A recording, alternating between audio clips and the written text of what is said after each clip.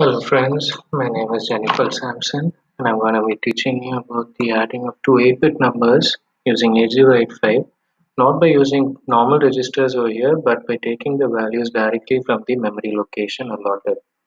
You may be aware that there are 2 power 16 combinations of memory locations available in 8085 that is coming to 65,536 locations and those memory locations can be seen by this particular combination 0000 up to FFFF up to here. There are 2 power 16 combinations of memory locations available. You can use any of these memory locations to make sure that you are getting your particular data. Okay. So your data according to my program is now available to be available at 2500. So what I'm going to be doing is 2500 is my memory location and in 2500 and 2501 two 8-bit numbers are going to be put inside and I'm going to add these two numbers. First with the value without carry I'm going to put it without carry over here. So I'm going to give an input fe plus 01 01 over here. And you may be aware that fe plus 01 is ff so no carry is going to be generated. And my next input um, uh, my second uh, uh, example that I'll be giving is ff plus 01 so ff plus 01 is nothing but sum 0 0 and a carry 1 so ff plus 0 01 is 100 so carry 1 sum 0 0 carry 1 sum 0 0 so first we'll be doing it without the carry and check what is happening over here so 2500 has the value of fe 2501 has the value of 01 so now what we are going to do is we are going to add these two numbers. So for that we'll be running this program and we're going to check it line by line. So what is LXI? Load immediate. X means 16 bit. So please remember anywhere you see X in a particular program of 8085 it means it is representing a 16 bit. So load immediate H comma 2500 which means that 25 is going to be sitting into H register and L is going to be sitting into L register. X, I told you H means H and L combined together.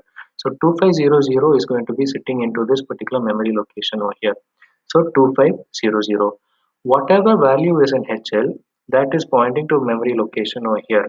So for that particular memory location, whatever data is available will be available in the M register. Okay. So our location at HL is 2500 at 2500 the value that is available is fe so this fe is now available in m. So move a comma m. What is move a comma m going to do? It is going to move the value of fe into a register. So a register initially 0 0 this fe is going to be moved into a register so that fe is now moved to a register over here okay so what is my next step? I need to get my second input. Where is my second input available? My second input available is available in the location 2501. So I just need to increment H value. What is the difference between INRH and INXH? INRH means the value will become 2600. H value will alone be incremented by 1. That is what I mean by INRH. So 2600. What do I actually need? 2501. So which means that the L value has to be incremented by 1 either I can give INRL or I can give INXH INX X 16 bit H and L combined together. H and L combined together incremented by 1 2500 plus 1 is 2501 so what is going to happen 2501 is going to be available over here. So 2501 what is my M value now in 2501 M register will have the value 01 so what I'm going to do is add the value of FE directly with this particular value 01 that is why I give add M. Add m means add a with m and store the value back in a. So a is nothing but fe m is nothing but the value of 0 1 adding these two values i'll be getting fe plus 0 1 which is ff and where is that ff going to be sitting? At the accumulator. So you can see that over here ff this has not moved to the output yet. To move it to the output what you have to do you have to move this accumulator value to the output over here so before that i need to point to the memory location 2502 so again I give increment h. Increment h means 2501 is going to become 2502. So now it is pointing to this memory location. I'm going to do the ultra process over here. Move m comma a which means that a value ff is going to be moved to the m register over here. So a value which is nothing but my ff is going to be moved to this particular memory location of 2502.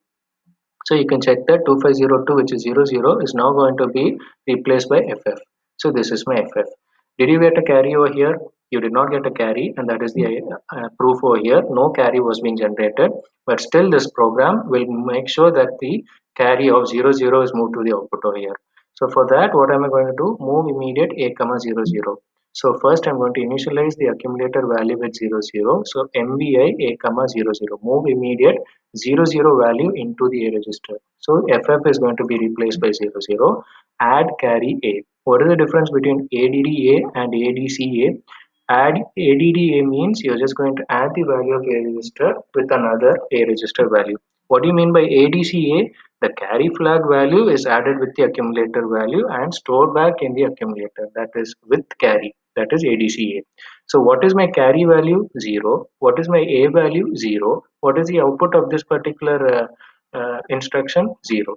So I'm going to get a 0, 0 here. Now what am I going to do? I'm going to increment this particular HL register pair by 1 so that I can store it in my output over here. What is my location? 2503. So add it over here. So 2502 plus 1 is 2503 and that is what is happening 2503. Now this A value which is 0, some sorry carry 0 is moved to this particular memory location 2503. So there will be no change over here. You'll be getting the same 00 value over here. Okay. So as I told you with carry, an example, a simple example, what is going to happen is I'm just going to replace this FE by FF. So FF plus 0, 1 is 1, 0, 0. So 1, 0, 0. Carry 1, sum 0, 0. So this is what I'm going to be proving over here. So when we run this program, what is going to happen? HL had the value 2503. I'm going to start from the beginning. So HL is going to be replaced by 2500. So 2500. And what is in 2500 now? FF. So FF value is going to be moved to where? A register. So it is being moved over here. What is my next step? Increment H to get my second input. 2500 is going to be replaced by 2501. So 2501 has the value now 01 over here. So this 01 is an M. Adding the 01 plus FF, I will be getting a sum of 00. 0 So adding this, I'll be getting a sum of 00 and my carry is being generated and it is ticked over here. So this is what you check. So it is being enabled over here. So I have a carry. Now what is my next step? I have to move my sum value to the output first, then I will move my carry. So what is my next step? Output is 2502. So increment this again. So what am I going to do? 2502. Move the accumulator value of 00 to this memory location 2502. So FF is going to be replaced by 00. So it is now replaced by 00 which is my sum. Now I have to take care of my carry part. Now I'm going to replace this A register by 00 according to my instruction. No change over there 00. Now add with carry. This is the difference I told you earlier with carry. Now carry, this is 1 plus 0, 0. 1 plus 0, 0 is nothing but 1. So this accumulator value is going to be replaced by 1 which is nothing but my carry. Okay. So what am I going to do? I have to move it to the memory location 2503. So 2502 plus 1 is nothing but 2503 my carry. And what is it going to move? my accumulator value of 01 is moved to this mem memory location over here 2503 so this 00 is now going to be replaced by 01 over here and that is what you see so this is a simple program where in which I was just using the memory locations and from that I was able to add it directly and from that I put the output back over here with the sum and carry in the adjacent memory locations so this is a, type of program where I can save the usage of my internal registers.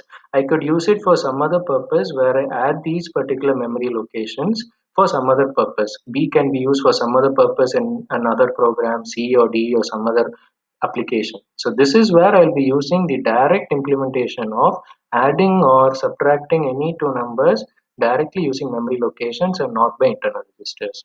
I hope you understood this particular concept. Thank you.